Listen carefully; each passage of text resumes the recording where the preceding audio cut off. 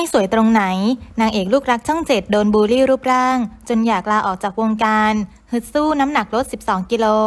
เป็นนักแสดงนางแบบ และนักร้องชาวไทยสังกัดสถานีโทรทัศน์สีกองทัพบบกช่องเจ็ดสำหรับเปรี้ยวทัศนียา นางเอกเบอร์ต้นๆของช่อง ล่าสุดสาวเปรี้ยว เธอได้ออกมาให้สัมภาษณ์กับสื่อว่า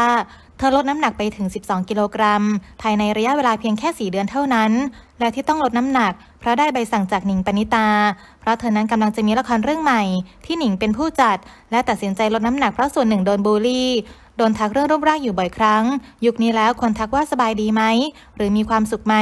มันน่าจะดีกว่าทักเรื่องรูปร่าง น้อยถึงขนาดที่อยากออกจากวงการบันเทิง และคิดว่าเรื่องรูปร่างเป็นสิ่งที่เราแก้ไขได้ และไม่ต้องมาโดนบูลลี่ขนาดนี้ และคิดว่าตัวเองไม่เหมาะกับตรงนี้ เพราะมันจะต้องผอม ต้องขาว ต้องสวยอย่างเดียว